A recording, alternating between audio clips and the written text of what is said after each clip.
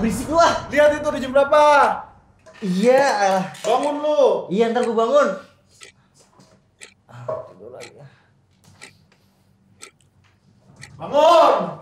Bangun. Iya. Yeah. Udah, elah, sahur besok aja.